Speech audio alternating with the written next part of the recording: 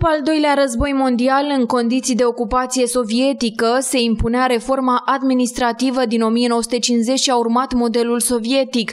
Din păcate însă, o serie de județe nu au mai fost reînființate, iar printre acestea s-a numărat și romanați. Cea mai mare parte din teritoriul său a fost trecut la județul Olt, în timp ce peste partea lui de sud-vest s-a întins Doljul, o mică porțiune din sud-est a revenit județului Telorman. Practic, actualul județ Olt este format din două județe istorice, Olt și Romanați. Și atunci, de ce să nu se numească cu numele lui întreg, Olt Romanați? Pe cine deranjează această simplă reîntregire de nume? Actualul județul cuprinde o bună parte din fostul județ al perioadei interbelice romanați. Probabil din economie nu s-a înființat județul romanați atunci când nu s-au înființat nici alte județe.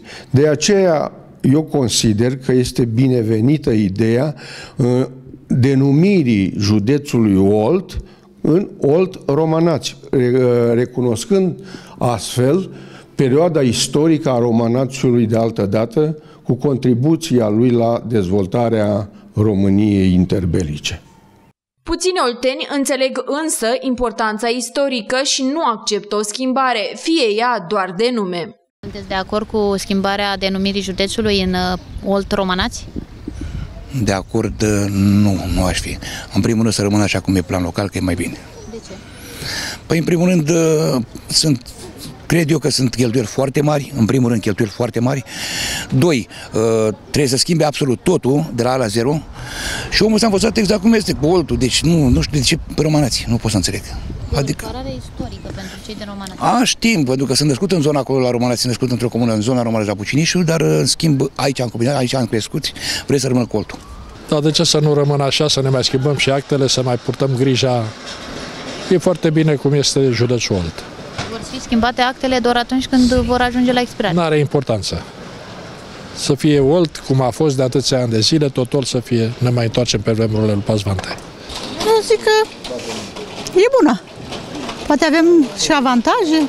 Care sunt mai avantajele multe? și dezavantajele pe care le vedeți în schimbarea denumirii?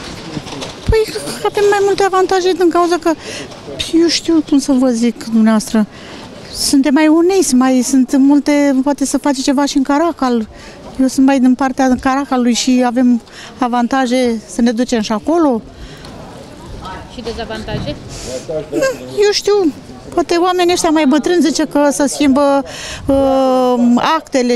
Pentru referendumul ce va avea loc pe 6 și 7 octombrie, Consiliul Județean a alocat 900 de mii de lei, bani din care s-a făcut campania, dar au fost tipărite și buletinele de vot. În weekend vor exista 379 de secții de votare în județul Olt, din care 121 în cele două municipii și 6 orașe și 258 în județ.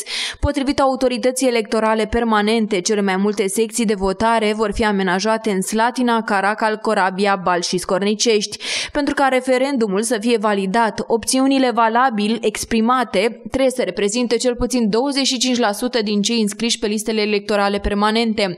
Condiția pentru validarea referendumului pentru schimbarea numelui județului este ca la vot să fie prezenți 30% dintre alegătorii înscriși pe listele electorale permanente, iar 50% plus 1 dintre aceștia să voteze da.